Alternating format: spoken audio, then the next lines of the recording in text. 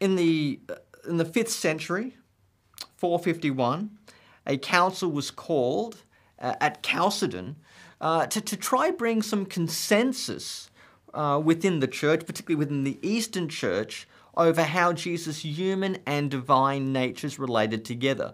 Because around this time there was a, there was a lot of disagreement about how Jesus' divinity and humanity kind of related and interfaced, and it was causing a lot of a lot of fracas, a lot of division, not just within the church, but even within the the, the, the Roman Empire of the East, even you know, within the, the, the Byzantine Empire. So the the emperor was very keen that some sort of uh, concord or unity of mind would be reached. So his church would be uh, united within a united empire. And they had to deal with a few different issues as well. But basically, they came up with what is called the Chalcedonian definition. And that's basically been the church's summary of how Jesus is fully a person, fully human, fully divine, and how his humanity and divinity exist equally and together within his one person.